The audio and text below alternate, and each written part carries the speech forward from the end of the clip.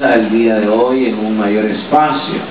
Pero también decirles que comprendo que el sol está incandescente y entonces platicando con el Padre Víctor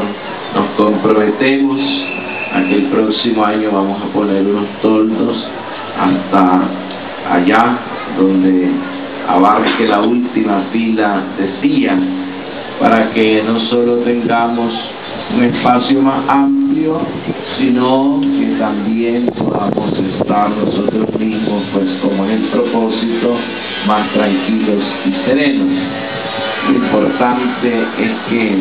cada año vayamos teniendo pues un poquito mayor de visión.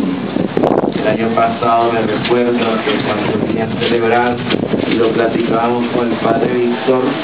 que ambos nos sorprendimos un poco que el lugar donde tradicionalmente pues se ha hecho la Santa Misa es muy sí, bonito y techado, pero pequeñito y entonces mirábamos que mucha gente, aunque quería quedarse en la misa, pues solo pasaba tal vez santiguándose y seguía adelante porque el espacio ya no les permitía estar en la Eucaristía. Entonces ahora por eso pensamos hacer la campal, pero digo el próximo año Dios mediante, pues nos comprometemos con ustedes a tener los toldos necesarios y suficientes para que podamos